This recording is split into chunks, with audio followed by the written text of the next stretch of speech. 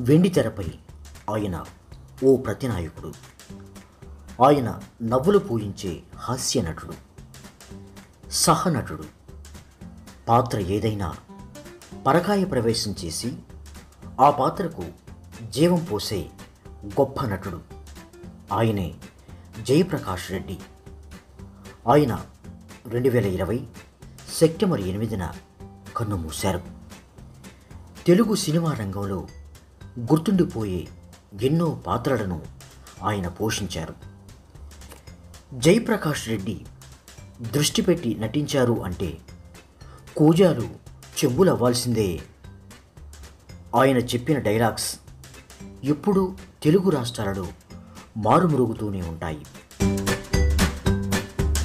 రాయలసీమ తెలంగాణ గోదావరి ప్రాంతం ఏదైనా యాస ఏదైనా తనదైన శైలిలో కంచు కంఠంతో డైలాగ్స్ చెబుతుంటే థియేటర్లు ఏలలు చప్పట్లతో మారుమురుగిపోవాల్సిందే తూర్పు జయప్రకాష్ రెడ్డి పంతొమ్మిది వందల నలభై ఆరు మే ఎనిమిదిన కర్నూలు జిల్లా ఆళ్ళగడ్డలో వ్యవసాయ కుటుంబంలో జన్మించారు.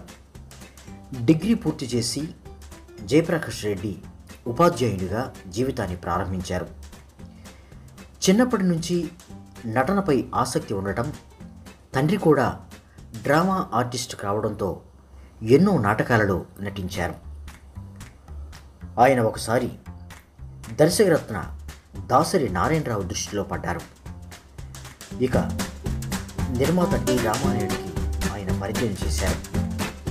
దాంతో మొట్టమొదటిసారిగా పంతొమ్మిది వందల ఎనభై ఎనిమిదిలో బ్రహ్మపుత్రుడు చిత్రంతో తెలుగు సినీ రంగ ప్రవేశం చేశారు.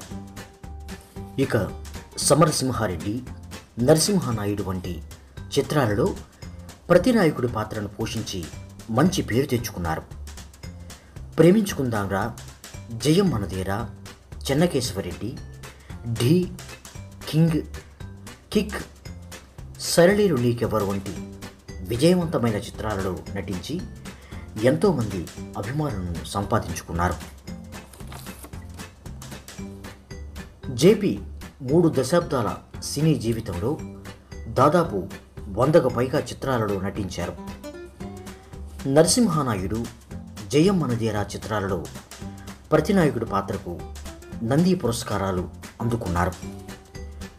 ప్రతినాయకుడి పాత్రలో గుర్తింపు తెచ్చుకున్న అనంతరం హాస్య పాత్రల వైపు జేపీ మళ్ళారు.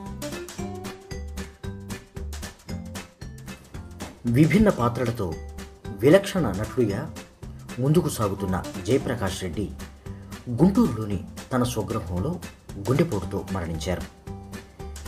తెలుగు సినీ రంగంలో జేపీ లేని లోటు మరెవరూ పూడ్చలేరు.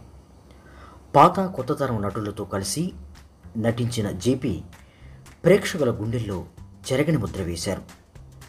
జయప్రకాష్ రెడ్డి మరణించినా ఆయన చేసిన పాత్రలలో ఎప్పటికీ జీవించే ఉంటారు.